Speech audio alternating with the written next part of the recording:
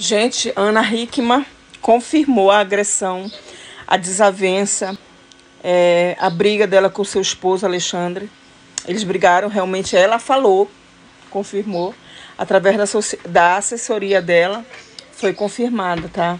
Realmente houve é, tudo isso, sabe? Só que a integridade física, como ela mesma falou, está muito bem e não se machucou.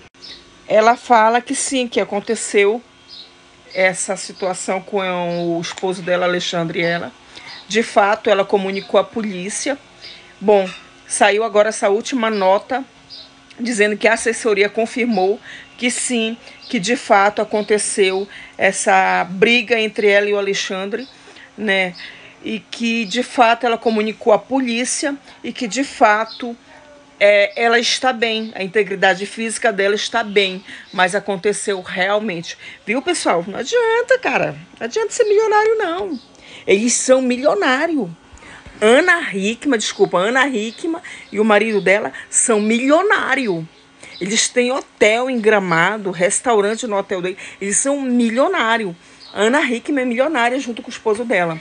E houve sim tudo isso aí, tá? É de verdade agora, foi ela que confirmou. E ela confirmou através da assessoria dela, ela confirmou através da assessoria dela que a integridade física dela não foi atingida e que está tudo bem com ela. Porém, ela realmente chamou a polícia, ela realmente deu parte do marido dela, Alexandre. Então é isso aí, pessoal. É de verdade. São ricos, são milionários, mas acontece isso em qualquer família. É do pobre, mas como diz uma comentarista aqui, uma moça que fez um comentário. É, são ricos não vai dar em nada, né? São ricos e não vai dar em nada. Então, é isso aí.